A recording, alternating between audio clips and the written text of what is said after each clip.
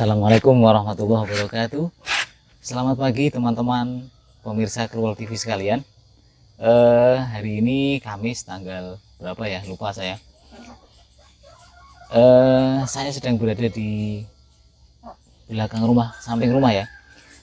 Kali ini aktivitas saya di pagi hari ini masih jam sekitar jam 6 pagi ya. Nah aktivitas kali ini eh, saya akan kasih makan ayam. Itu pakai sisa nasi dan juga uh, dedak ya. Kita akan campur dengan dedaknya ini sisa nasinya. Tuh dedaknya kita ambil di sini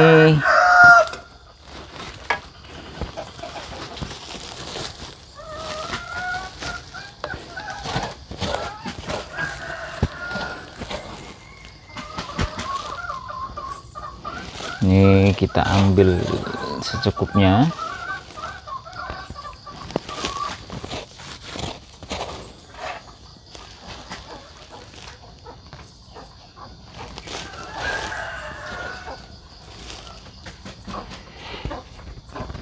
Oke, kemudian kita kasih air dan nanti kita aduk. Airnya ngambil di sini jadi agak susah nih.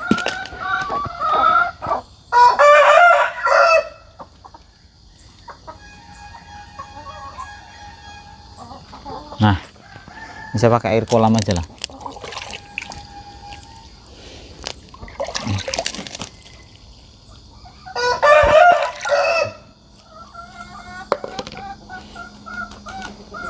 Kita aduk sampai rata.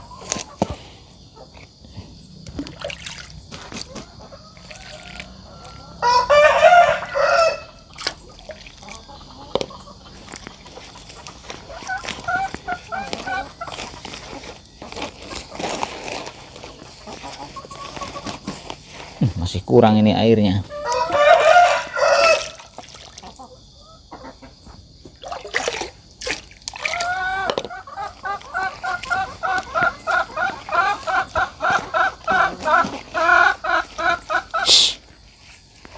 Ini suara ayamnya udah berisik. Udah nggak sabar lagi dia menunggu makanan ini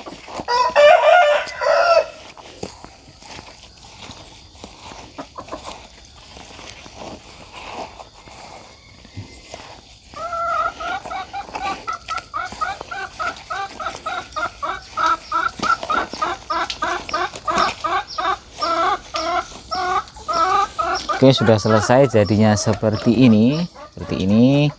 Dan kita akan kasih ke ayamnya. Oke teman-teman sekarang kita akan kasih makan ayam ini ke depan kandang ayamnya. Ini banyak tanaman yang sudah mati. Kita masuk ke kandangnya dan kita bagi-bagi.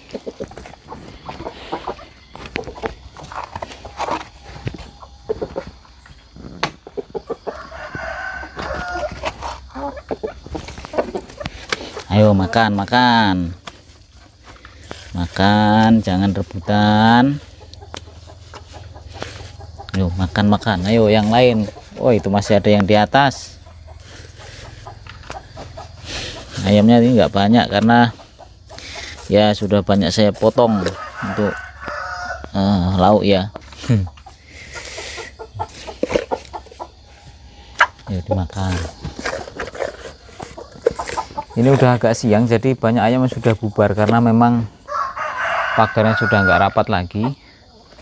Jadi banyak yang sudah bubar. Tapi nanti biasanya akan ngumpul lagi nih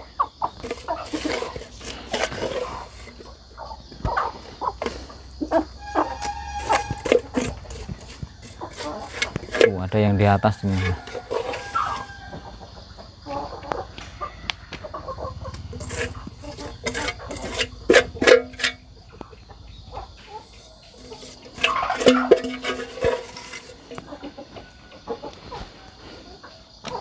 Oke, ngasih makannya cukup.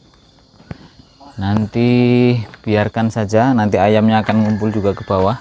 Ini sekarang sudah bubar karena sudah terlambat saya sebenarnya ngasih makannya ini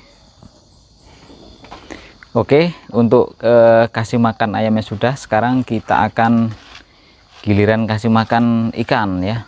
Ini pagi-pagi mudah-mudahan dia mau makan. Biasanya sih, biasanya kalau pagi-pagi nggak eh, nggak terlalu ini ya. Mungkin belum lapar biasanya itu. Nah ini ngapain di sini ayam nih? Ayo turun, turun, turun, makan.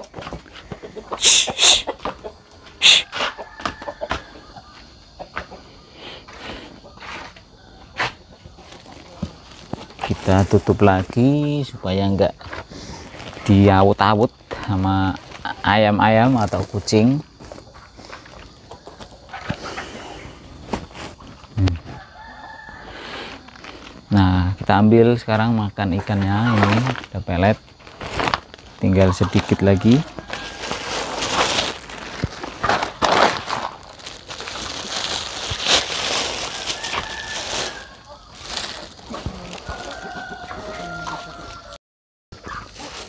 nah untuk kasih makan ikan silahkan dilihat.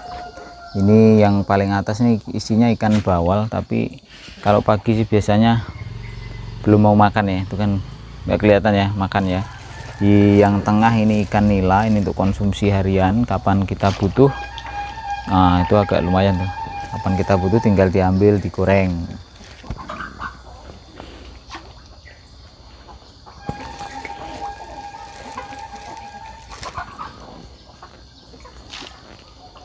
Oke kemudian kita coba lihat yang paling bawah. Ini isinya ikan gurami tapi masih kecil belum terlalu besar. Umurnya sekitar berapa bulan ya? Enam bulan lah. Kita coba kasih makan di situ. Nah dia mulai ya mulai berebut. Mulai berebut makanan. Itu ya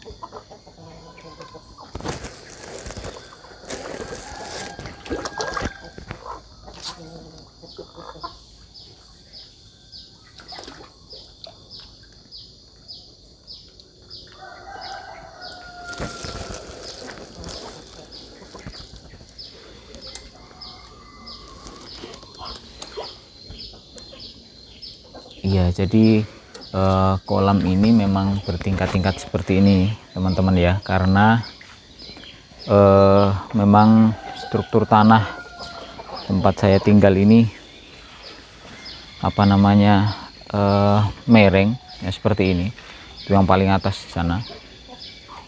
Jadi saya daripada tanahnya habis kena air terbawa air hujan, maka ya saya berpikir untuk lebih baik saya manfaatkan untuk kolam ini supaya tanahnya tidak tidak habis terbawa air. Ini juga kandang ayam nih awalnya nggak di sini awalnya di atas. Saya taruh di sini. Di sebelah itu sudah tanah orang lain. Dan itu lebih parah lagi e, jurangnya. Ya. Ya inilah saya tinggal di dusun. Eh, jadi aktivitas saya di pagi hari ya seperti ini.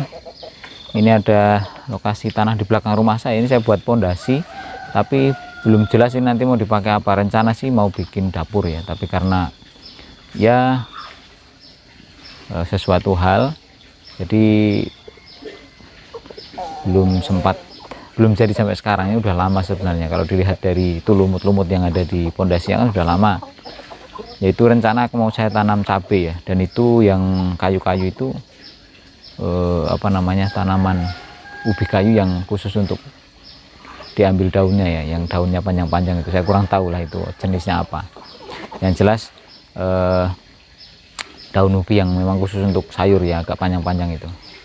Nanti rencananya di tanah yang masih kosong-kosong itu mau saya tanam cabai karena saya kemarin sudah minta bibit cabai yang saya ambil dari jauh ya dari Ketahun di Bengkulu Utara sana di tempat orang tua saya. Kebetulan uh, mereka membuat bibit cabai jadi saya minta beberapa batang nanti akan saya tanam di area ini.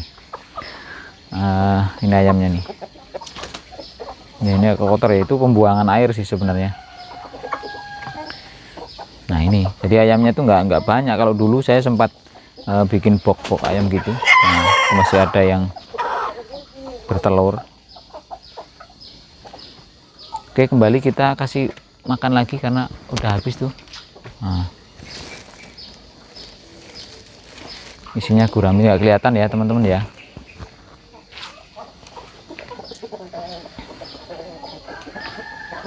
Nah itu ada tanaman cabai yang sudah lama jadi udah kering malah udah mati ya karena nggak disiram lagi.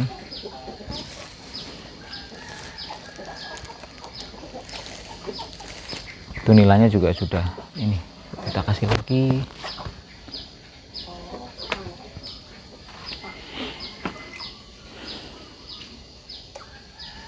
itu guraminya mulai makan ya. Kita lihat ikan bawalnya kok bawalnya nggak ada terlihat makan?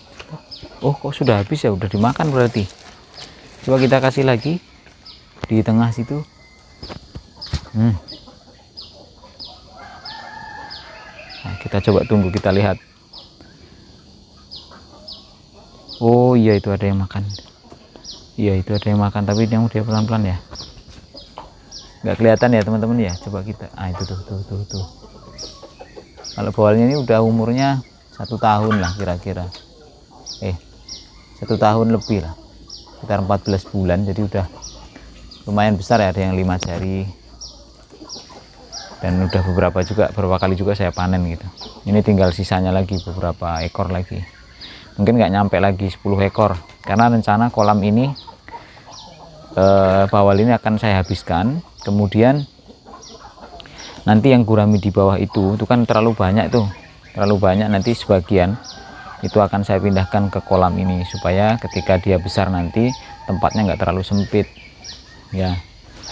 Jadi itu teman-teman aktivitas saya di pagi hari. Ya ini semua masih berantakan karena memang bangunannya belum jadi semua. Ya seperti ini lokasinya teman-teman nah itu belakangnya masih banyak pohon-pohon besar masih terlihat seperti hutan ya. Eh, oke teman-teman seperti itulah aktivitas saya di pagi hari ini. Dan itu hampir setiap hari ya, kecuali kalau memang saya ada urusan yang sangat eh, harus berangkat pagi gitu ya. Mungkin sekarang aktivitas ini digantikan oleh istri saya dan anak saya ya. Tapi kebetulan ini saya di rumah ya saya yang e, melakukan aktivitas ini. Ya. Ya seperti ini lokasi saya. Kalau saya putar gini ya. Uh nah seperti itu. Hmm. seru ya teman-teman ya. Jadi boleh kalau teman-teman ada yang mau main ke sini boleh. Nanti kita bisa bakar ikan bawal kalau masih ada. Tapi kalau sudah nggak ada lagi ya paling ikan nila yang kecil-kecil itu. Terima kasih teman-teman sudah menonton. Mudah-mudahan eh, ini tidak menjadi sampah di YouTube bisa menginspirasi. Jadi saya sebenarnya ada kerjaan lain gitu ya. Tapi ya di rumah saya karena saya tinggal di kebun saya manfaatkan waktu luang pagi-pagi untuk ngasih makan ini. Kemudian saya juga eh, coba-coba eh, menanam sayur nanti.